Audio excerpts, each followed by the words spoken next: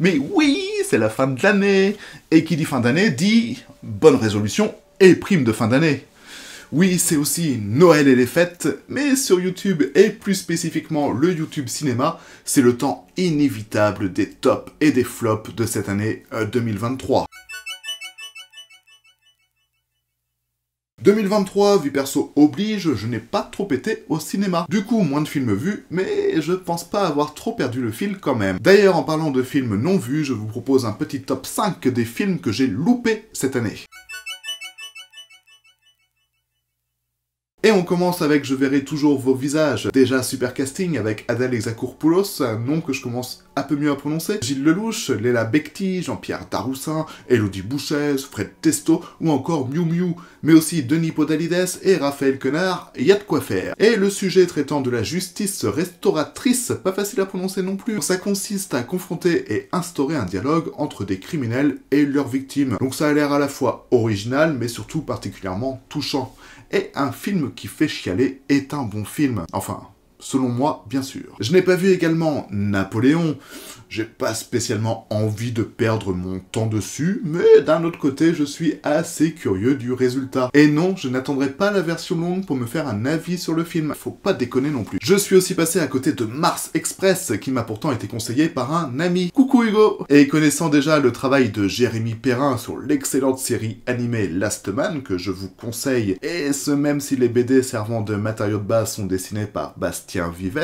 D'ailleurs, rassurez-vous, on ne parlera pas du tout de Falcon Lake, eh bien, je suis curieux de voir ce que le réalisateur arrive à faire sur ce long métrage d'animation et de SF. Surtout que les critiques sont globalement à très très bonnes. Et continuons avec la SF française et ce film de Thomas Caillet, Le règne animal, qui a été une bonne surprise au box-office et qui est porté par Romain Duris. Je suis pas fan, mais bon, pourquoi pas. Et aussi Adèle Exarchopoulos, et oui, encore elle. Belle année pour Adèle, hein, qui a quand même cette année joué dans 5 films et doublé le dernier Pixar élémentaire n'en parlera pas non plus, mais il est plus proche du flop que du top, et c'est bien dommage. Et top 1 des films que je n'ai pas vu, Killers of the Flower Moon, le dernier Martin Scorsese. Et pour être honnête, j'avais largement la possibilité de le voir avant de faire ce top, mais est-ce que je suis vraiment dans le mood pour me taper les 3h26 du film? Enfin, c'est pas tant la durée qui me fait peur, après tout j'ai déjà vu et adoré Satan Tango, l'abécédaire de Gilles Deleuze, ou encore Shoah, mais j'ai vraiment la crainte d'être déçu par ce film qui m'a l'air assez convenu aussi bien sur le fond que sur la forme. Et puis DiCaprio...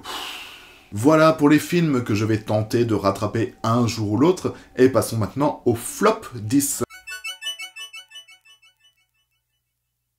Alors oui, je sais que globalement, les gens aiment bien entendre des critiques négatives. Et puis c'est vrai que c'est fun hein, de cracher son venin sur des films que l'on trouve mauvais. Mais c'est quand même assez facile, et plus je vieillis, moins je vois l'intérêt de ce genre de critiques. Et ouais, je deviens un vieux con. Bref, je vais quand même faire un flop, mais je vais aller assez vite, histoire de ne pas trop étaler toutes mes déceptions. Et on commence avec la dixième place, attribuée à John Wick 4. Le scénario s'essouffle, il y a de bonnes bastons, hein, c'est sûr, mais bon, sans que ça devient long, surtout quand on voit Kenny Reeves qui dégringole les marches du Sacré-Cœur pour la 126e fois. S'il vous plaît, accélérez ce film. 9 place. Oui, je vous avais dit hein, que ce serait rapide. Eh ben, on retrouve Asteroid City. Et j'en peux plus de Wes Anderson. Hein. C'est bien de faire un film beau et esthétique, mais franchement, il n'y a plus aucune émotion dans son cinéma et dans ses plans qui sont beaucoup trop parfaits pour moi. 8 place, Alibi.com 2. Alors, c'est un succès au box-office, mais franchement, le premier était vachement mieux. De toute façon, Philippe Lachaud, c'est à mes yeux soit super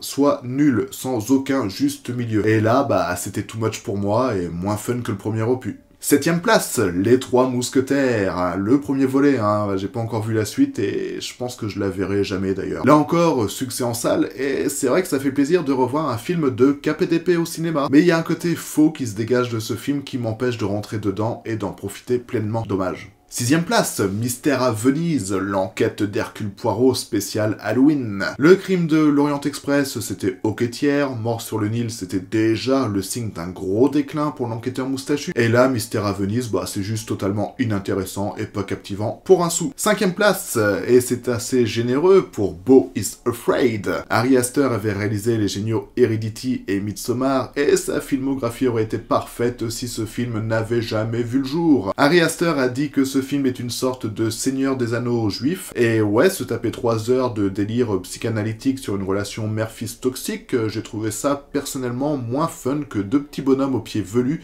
qui doivent jeter un anneau dans un volcan. Et eux au moins ils passaient pas leur temps à se plaindre et à se lamenter sur leur dépression. Et en quatrième place, on retrouve un autre film long, verbeux et au final assez vain, Oppenheimer de mon réalisateur adoré Christopher Nolan. C'est ironique. Oui, une bombe nucléaire qui explose, ça ne peut que faire une belle séquence au cinéma, mais si t'avais un véritable discours derrière ton film au lieu de nous faire une sorte de plot twist pourri avec Robert Downey Jr., ce serait mieux. Et mention pour la place de la femme qui est lamentable dans ce film, alors que bon, il y a quand même Emily Blunt et Florence Pugh pouf, pif, pif, paf, pouf. Top 3, enfin flop 3 plutôt. Vous vous souvenez de Ghosted, le film d'action événement de Apple TV+, qui réunit Chris Evans, Anna Diarmas et Adrian Brody? Bah moi non plus, euh, je m'en souviens plus du tout. Preuve qu'il mérite sa place en troisième position de ce flop. Flop 2, et je suis un peu déçu parce que bah, j'aime pas spécialement taper sur les comédies françaises qui s'en prennent généralement plein la gueule dès leur sortie, mais là je suis obligé de vous parler de Veuillez nous excuser pour la gêne occasionnée, un film dont le titre euh, était pourtant annonciateur de quelque chose. Donc j'ai vu les dix premières minutes et la mise en place des personnages montrait clairement qu'il y avait un problème d'écriture ou de montage et que tout allait beaucoup trop vite. Alors peut-être que ça va vite pour aller à l'essentiel et que tout ça va se jouer au cœur du film, mais pas du tout, hein, j'ai avancé vers le milieu du film et c'était tout aussi naze. Du coup, j'ai été voir la fin et j'ai vite compris que je n'avais pas loupé grand chose. Dommage parce que j'aime bien Artus. Et en première place, le titre du meilleur des mauvais films de cette année 2023 revient à Hypnotique de Robert Rodriguez. Oui, ce réalisateur existe encore. Et franchement, bah, allez voir ce film avec des potes, hein, c'est probablement le nanar de l'année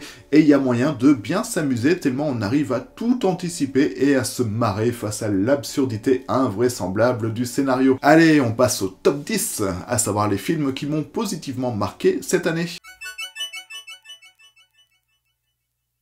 Et on commence avec en dixième place Grand Paris, l'histoire de deux banlieusards interprétés par Mahamadou Sangaré, que l'on peut d'ailleurs actuellement voir dans Vermine, et Martin Jova, qui est aussi le réalisateur du film. Ils vont trouver un artefact mystérieux sur le chantier de la future ligne du métro de Grand Paris. Petit film de vagabondage nocturne sympathique et nous emmenant à la limite de la SF, on saluera les apparitions de Sébastien Chassagne en complotiste, qui est peut-être pas forcément dans le faux, et de William Lebgill en livreur de burger. Un film qui parvient à être positif et lumineux dans une atmosphère pourtant maussade. C'est rafraîchissant sans être innovant, mais ça fait foutrement plaisir, et c'est ça le principal. Neuvième place, Le Monde après nous, film Netflix sorti au début du mois, et qui fait le plaisir des complotistes. Parce que, oh mon dieu, on nous décrit avec précision le futur de notre monde. Oh mon dieu, on est déjà à la deuxième étape, et oh mon dieu, en plus il y a la famille Obama à la production. Voilà, donc on a Julia Roberts, Ethan Hawke et leurs enfants qui louent un petit Airbnb histoire de décompresser. Mais surprise, un soir, les propriétaires de la maison se pointent parce qu'il n'y a plus aucune électricité dans les alentours et qu'ils sentent qu'il se passe un truc chelou. Et à raison, hein, puisque plus le film avance, plus il se passe des trucs chelous qui nous laissent penser qu'une apocalypse est imminente. Et ça faisait longtemps qu'un film ne m'avait pas pris comme ça. On a envie d'en savoir plus, on a envie de connaître la fin. Et j'ai entendu pas mal de gens être déçus par cette fin,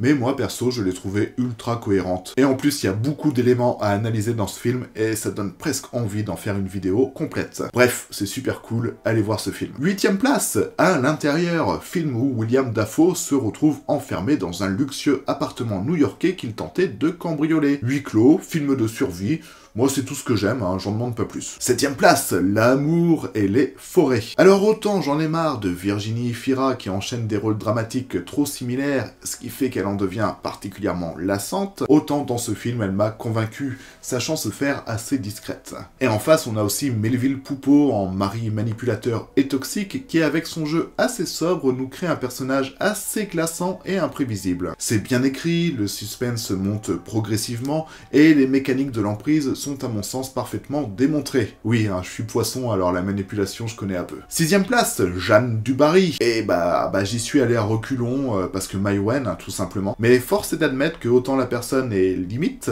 autant la réalisatrice, elle est loin d'être dégueu. Donc je range ma médisance, hein, et n'aimant ni les films à costume, ni les biopics, j'ai été conquis par Jeanne Dubarry, et ce notamment grâce à l'humour irrévérencieux qui rend le film très agréable à regarder sans être forcément anachronique. Cinquième place, Youssef Salem a du succès. Youssef Salem, joué par Ramzi Bedia, est un écrivain un peu loupé qui va finalement rencontrer le succès jusqu'à gagner le prix Goncourt avec son dernier roman. Le hic, c'est que Youssef Salem s'est inspiré des problèmes et des secrets de sa propre famille, et il n'a pas du tout envie que cette dernière soit au courant de ce qu'il a pu écrire. Drôle, émouvant et touchant, ça marche à merveille. Quatrième place, Missing, disparition inquiétante. Je ne connaissais pas le film Searching sorti en 2018, donc j'ai pu avoir la surprise de découvrir cette mise en scène qui ne passe que via des écrans d'ordinateur et autres objets connectés. Du coup, c'est une réalisation très vivante, un peu poussée par instant, c'est vrai, mais le rythme de cette enquête menée par une adolescente cherchant à retrouver sa mère ne revenant pas de ses vacances en Colombie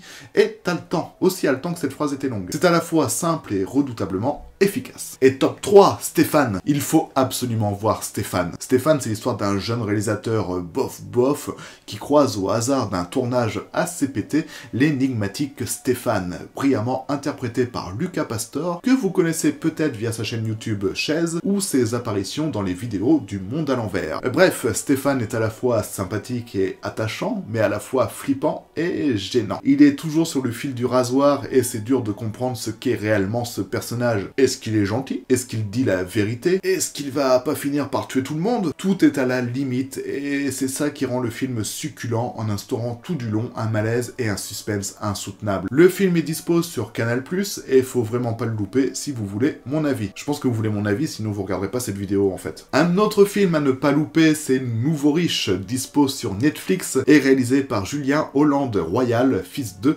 qui avait déjà sévi en 2021 avec En passant Pécho, qui était d'ailleurs d'ailleurs dans mon top de cette année. On est toujours dans cet univers décalé, loufoque et dingue qui dérange beaucoup de spectateurs, mais qui moi me réjouit énormément. En fait, ce film c'est une sorte de Philippe Lachaud en mode dark, très dark, violent et débridé, osant ainsi des choses que l'on ne voit que très peu dans le cinéma français. Les scènes de castagne en plan séquence sont impressionnantes et jouissives, hein, mieux que dans les Trois Mousquetaires. Le duo d'acteurs interprété par Nassim Layes et Zoé Marshall, fille d'Olivier, fonctionne parfaitement en repoussant au plus loin les limites du l'amour, de l'action qui fonctionne, un humour absurde, une hystérie totale qui envoie beaucoup et peut choquer, mais bon sang que c'est bon. Je le disais déjà avec En passant pécho, mais ce film, Les Nouveaux Riches, a tout pour devenir un jour Et le top et bon bah, je pense que le film sera dans plusieurs tops euh, cette année, du moins je l'espère. C'est Babylone de Damien Chazelle, réalisateur avec lequel j'ai personnellement un peu de mal. Mais là, c'est un chef-d'œuvre, un hommage et un amour inconditionnel au cinéma, et plus spécifiquement à sa période Hollywood Babylone des années 20 où tout était permis. C'est réjouissant, touchant aussi, effrayant également avec euh, le rôle de Toby Maguire hein, notamment, et Margot Robbie transcende tout ça avec une classe phénoménale. Et puis cette fin, véritable hymne d'amour à tout le cinéma m'a foutu les poils.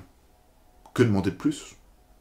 Je vous le demande. Et voilà, bah c'était mon top et mon flop de cette année. Une année pas dégueu, hein, ma foi, j'ai eu pas mal de bonnes surprises, et mine de rien, le fait de voir moins de films que d'habitude permet d'en profiter davantage, enfin, j'ai l'impression. Je termine avec une petite preview de 2024, où en janvier, Yorgos Lantimos, réalisateur du dérangeant Canine, va nous refaire un film chelou intitulé Pauvre créature, tandis que Sofia Coppola va très probablement nous ennuyer avec son biopic sur Priscilla Presley. En février, il y aura du gros avec la partie 2 de Dune, le dernier Dupieux sur Dali, le dernier Bonello, le dernier Dumont, mais aussi le retour de Captain America, et même le spin-off de Spider-Man, Miss Webb, pourquoi pas. En mars, c'est le retour de Kung Fu Panda, mais aussi de Bong Joon-ho, le réalisateur de Parasite, qui va nous faire un film de SF avec un casting américain réunissant Robert Pattinson, Tony Collette et Mark Ruffalo, entre autres. En avril, ce sera un nouveau SOS Fantôme, pourquoi pas, un nouveau Godzilla vs King Kong, la bande-annonce est à chier, et un road trip intitulé Driverway Dolls, signé Ethan Cohen. En mai, et plus précisément le 22 mai,